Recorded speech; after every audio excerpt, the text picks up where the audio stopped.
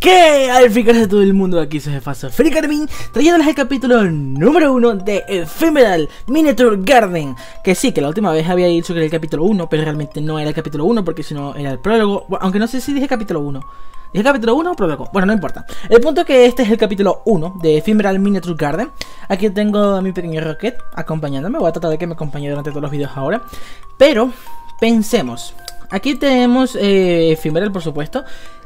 Hay algo que me llamó mucho la atención, en principio, porque no sé mucho sobre esto, que cada capítulo al parecer cuesta llaves. Aquí arriba tengo llaves, monedas y gemas. Lo que me dijeron Barbariza y Oki es que vamos a usar únicamente esas 20 gemas que están ahí porque las demás... Porque lo que pasa con las gemas es que hay que comprarlas. Y las gemas funcionan para poder hacer elecciones importantes. Que sí, que lo ideal sería eso, pero quedamos en que lo mejor es que nosotros lo que hagamos es únicamente usar esas 20 gemas que ya nos dan al principio para así ayudar al juego, porque la única ganancia que tiene el juego como tal, o los de Hunex, que son los que están haciendo estos juegos, son las compras de gemas. Y realmente también nosotros hacemos esto como para ayudar a los juegos que nos permiten jugar. Así que si están interesados en conocer cuáles son las opciones que les da las gemas, van a tener que jugarlo y comprar las gemitas por sus propios medios. Pero no importa, igual yo voy a jugarlo a mi manera, con lo que tengamos. Voy a usar gemas obviamente, pero solo esas, ¿ok? Así que tratemos de dejarlas como para el final. No sé para qué sirven esas monedas, si es que son monedas, no voy bien. Y las llaves ya sabemos entonces que son para los capítulos. Ok, vamos a empezar entonces con el juego. Uy, ¿se escucha externamente? ¿O es idea mía? Vale, eh, por alguna razón siento que escuché externamente el juego. Espero que no, porque si no, no... No sé, no sé, no sé. Voy a quitar la música por si acaso, porque no quisiera que se escuche... Voy a quitarle todo el audio. Sí, porque se escucha externamente. No sé por qué, debería escucharse de mis cascos, pero la escucho en la computadora. Bueno, no sé. Elige a quien quieres cuidar. Ah, esto lo dice ella. Fui criada como una princesa hasta hoy y ahora me toca la peor decisión. Pero no puedo escaparme de esto en esta situación. Si no, no podré escaparme. Prefiero a alguien que no me cause problemas. Bueno, Hisui tenía cara de no tener, no dar problemas, sinceramente. Por eso la Hisui, Hisui tenía una gran hematoma, hematoma en su cara. O sea, la, cicatriz que realmente parecía ser la sombra. ¿Por qué será que tiene ese, ese hematoma? ¿Será por un accidente? Eh, ¿Por qué tanto me miras a la cara? La verdad es que Hisui es bastante guapo. Oh, no es nada. Solo es que, eh, venga, tienes una gran cicatriz. Es algo obvio de admirar, supongo. Me ha pillado que le miraba en su cara y desvié la mirada de él. Pero le sigue mirando escondida para que no se percate que le estoy mirando. o sea, yo quiero saber cómo miras a alguien que tienes enfrente escondida. O sea, te tapas medio ojo y dices, yo no lo estoy mirando, solo esto luego mi, este ojo tiene dirección a tu cara. No sé. No entiendo qué es lo que piensa. No sé si esa cara es la cara de siempre o está enojado. Tiene una cara tan inexpresiva que lo hace misterioso. Aun cuando lo asigné al salón, no movió ni siquiera una ceja. Encima apenas me dijo vamos y salió del salón solo. Qué misterio, ¿no? Tampoco habla mucho. Tal vez elegía a una persona muy difícil de tratar. No, yo creo que los otros dos eran más complicados, sinceramente. Sabía que me elegiría. ¡Ahora, perdóname! O sea, perdone usted, señor. Me hago una reverencia. O sea, Sabía que me elegirías. Ya empezamos mal, ¿vale? ¿Qué? No comprendí lo que me quiso decir y le pregunté de vuelta. ¿Sabías que yo te elegiría? ¿Por qué? Hace rato te veía muy mal, pero ahora te sientes mejor, ¿verdad? Fue entonces, si, si fue cosa de él entonces. Eh, sí, eh, sí, creo que estoy bien. Ahora que lo menciona, creo que me sentí más tranquila cuando, que cuando estaba en el salón. Ya veo, qué bueno. ¿Qué conversación tan profunda estamos teniendo? ¿Sabes algo? ¿Hay alguna razón por la que me he sentido mal en el salón? ¿Quién sabe? Sí lo sabe, y claramente lo sabe. Tú lo dijiste. Yo tampoco... Yo tampoco no lo sé muy bien. ¿Será que yo tampoco lo sé? Yo tampoco lo sé muy bien. Solo me pareció que estaba mal. Dijo nada más que eso y desvió la mirada de mí. No lo entiendo. ¿Qué relación tiene esa pregunta con lo que. con. que le elegí a Hisui. Yo solamente seguí lo que decía mi corazón, no hay ninguna otra razón. Ay, eso sonó tan místico. Elegí mi corazón. O sea, elegí mi. ¿Qué, qué lo que dijo? Ya ni sé lo que dijo, pero fue tan místico como que. Ay, ay, ay. No tenía linda cara, pero era grosero. Eh, eh, me gusta, me gusta esa parte seguro. Porque es como que está pensando, eh, eso ha estado bien, pero en parte este chico es tal cosa, no me mola. Está bien, me parece bien que como que piense las razones por las cuales no lo escogió. Tenía el presentimiento de que si, si lo eligiera él, no tendría tiempo para tranquilizarme. Si eligiera solamente por la cara, Yugo era el primero por su cara bella. Realmente, creo que de los tres él sería el más guapo, pero... No lo sé, no... Hay algo de él que no me cuadra. Es como ese tipo típico chulo de los juegos, ¿sabes? No...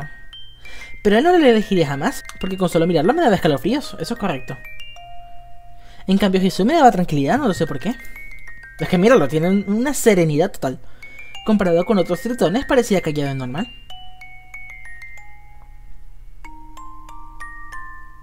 Elegí yo mismo puede dejarte. es como yo, ¿sabes? Porque, o sea, en principio sí, yo iba a elegir, hubiera elegido a Jesús igual, porque es el que más me gusta de los tres. Pero cuando elegimos las rutas, Bárbara y que me dijeron, mira, e-, ella va a hacer este y yo voy a hacer este. Tú haces este. Y yo como que, vale. Fue por descarte. Pero igual me gusta mucho más sí que los otros dos. Pero, ¿será que es por alguna razón? Ya llegamos. ¿Qué? Aquí es mi pieza. Entra. Eh, espera, no me empujes. Uy. Uy. Jesús me empuja y me forzó a entrar en la pieza. Eres muy bruto. Es que estabas en la nube. Bueno, aprende la ubicación de todas las cosas en la pieza. Parece más bien como, no sé, una casa. ¿Ubicación? ¿Por qué? Eh, ¿Por qué tú me elegiste? Vine para esa pieza, labras mi ropa como cuidadora, ¿no es así? ¡Oh, por Dios! A esta tipa le va a dar un ataque. Sí, creo que a alguien no le mueve mucho la idea. Así que para limpiar la pieza deberías aprender la, ubicación de los lugares y no me, cabe, no me cambies de lugar. ¿Necesitas en serio hacer limpieza? Esta pieza parece limpia. Había libros sobre la mesa, el sofá, el estante, pero aparte de eso estaban ordenados. No hay ninguna basura. ¿Tiene esta sirvienta en este lugar? ¿Sirvienta? Cuando te veo me acuerdo de la primera vez que vine aquí. ¿Eh? Yo tampoco nunca hice eh, yo tampoco nunca hice limpieza en el lavado de la ropa en mi vida hasta que vine aquí. Te servían de la comida. Te servían la comida sin siquiera mover un dedo. Tenías las ropas impecables y todos los días dormías en una cama limpia. Jesús parecía triste cuando contaba su pasado. Entonces tú limpiaste tu propia pieza. Así es, pero desde hoy será tu trabajo. ¿Qué hijo de...? Mi trabajo, hacer la limpieza. A mí me dicen eso y me da algo también. Al ver la pieza me doy cuenta de todas las cosas que debo hacer. No, tu trabajo no es solo eso. Tú deberás hacer todo lo que yo desee. Eh... no lo quiero hacer. ¿No lo quieres? Qué raro. Tu sirvienta te decía todo lo que deseabas, ¿no? Ya, pero o sea... Eh, decirle a ella sirvienta es un poco overpower, ¿no? En este momento. ¿O alguna vez te, te ha contestado tu sirvienta que no? Sí hubo una vez, no hubo ninguna vez.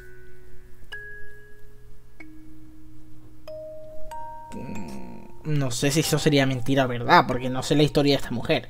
Sí, hubo una vez. Sí, hubo una sola vez. ¿Y? ¿Le perdonaste a la tonta raza que contestó a la sirena? No. Bravo. Me imagino. Si te dice que no es lo mismo que desobedecer a la sirena. Bueno, desobedeció a una sirena, lógico. Parece que no te gusta la idea. Mi pregunta es, ¿ellas se pueden convertir en la sirena que yo conozco o, esto no tiene nada que ver con eso? Se llaman sirenas porque sí.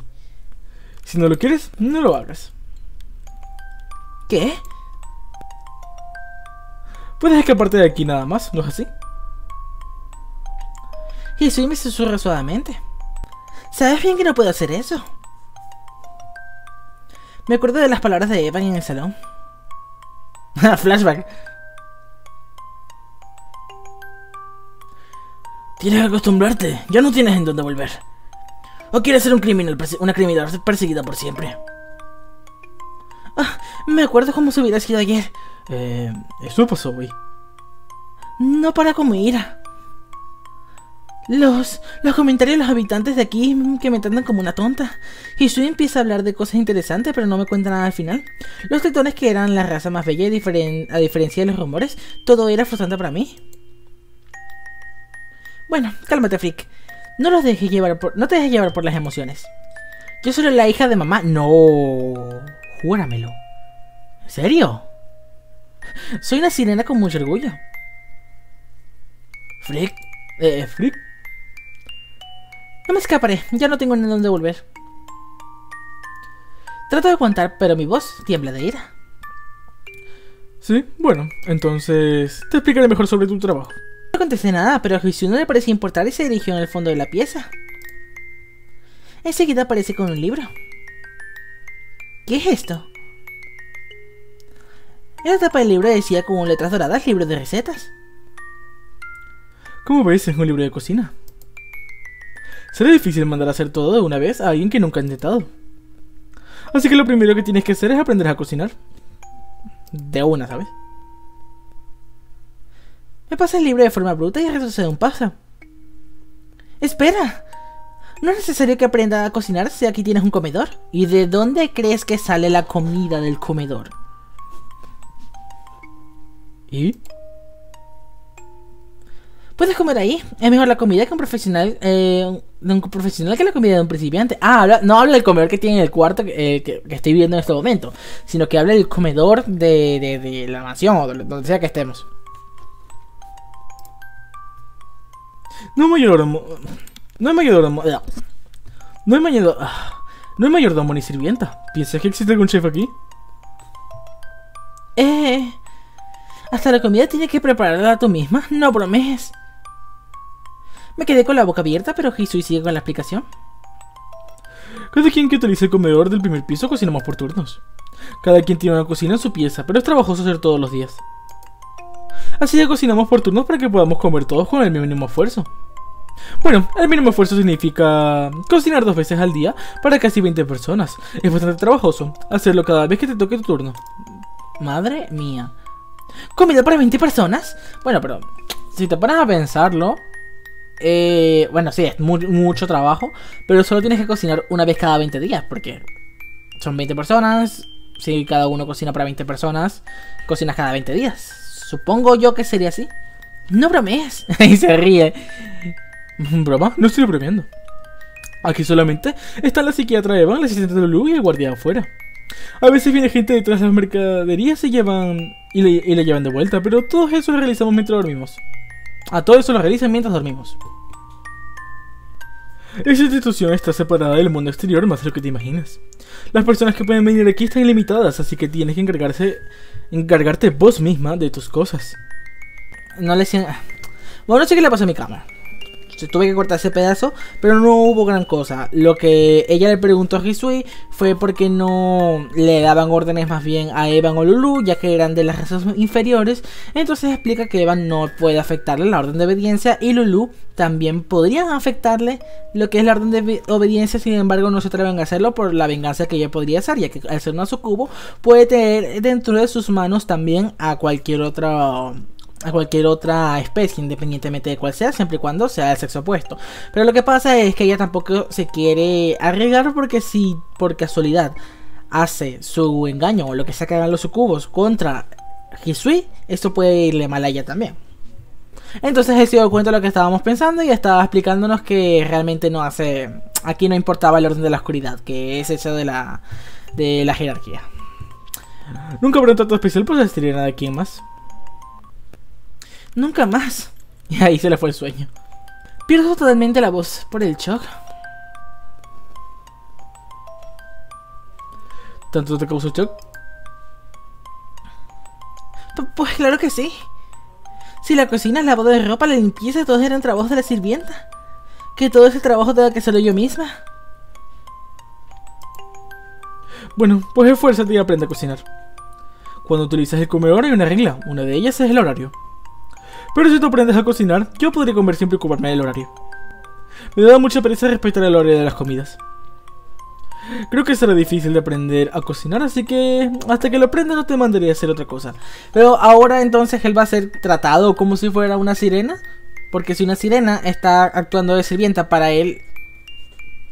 No sé, estoy confundido. Porque, ajá, pero si tú tienes una cuidadora, entonces ella va a actuar de sirvienta y los otros se van a joder y ellos van a tener que hacerlo todo, aunque tú tengas una sirvienta, básicamente. No sé, me parece como un poco injusto, ¿vale? Aún así no creo que podría cocinar. ¿Tú lo dices? ¿La orgullosa sirena desiste antes de comenzar? Eh, No pretendo que sea comida de lujo. Quiero que aprendas por, lo, eh, por lo mínimo las recetas que están en ese libro. Todos son cocinas caseras básicas, no son comidas de lujo que comes en un restaurante de tres estrellas. ¿De tres estrellas? Estaba totalmente decepcionado con el libro en el brazo. Oye, enséñame a cocinar. Y vale 15, ¿sabes? O sea, esta se ve interesante. Pero no, no, no, la voy a guardar, la, la voy a guardar. ¡Ah! Todo por apoyar a, los creadores de contenido. Venga. Que yo lo compraría fácil. O sea, yo no tenía problema en comprar los diamantes, pero no, no, no. no. Si quieren saber qué pasa, jueguen ustedes y usen los diamantes ahí. Pero no, no, no, hay que apoyar, hay que apoyar, hay que apoyar, hay que apoyar. Que nos están dejando jugar esto sin problema. Tengo que apoyar esto. no puedo hacerlo. Oye, yo no podría hacerlo. ¿Por qué dices eso? Ni siquiera intentas. Nunca agarré un cuchillo. Sé que no podré, aunque... Sé que no podré, aunque intente. Eres la percuidadora. ¿Qué esperabas de alguien que fue mantenida toda su vida? Ok, ven conmigo. Y de la vuelta y se dirige hacia la puerta de la pieza. Ajá, ¿dónde vas? Sígueme y ya verás. O sea que igual la va a enseñar a cocinar. O sea, gastarse 15 diamantes para una respuesta que igual me te va a enseñar a cocinar. Y usted sale de la pieza con una cara fría. ¿Qué le pasa? ¿Cómo no queda opción que seguirle? Le sigo corriendo por detrás. Oh, ¿ya? ¿Terminó el capítulo tan rápido? Vale, pues eh, lo vamos a dejar por aquí. Yo creí que eran más largos los capítulos. ¿Son así de cortos todos? Bueno, pues nada, gente. Ya esto será todo por el capítulo de hoy. Quizás juegue yo uno más por aquí para qué pasa. Y tengo ya dos listos, pero no sé. Por ahora la vamos a dejar por aquí. Sin más nada que decir ni silbar, Free se despide sin nada más. Adiós.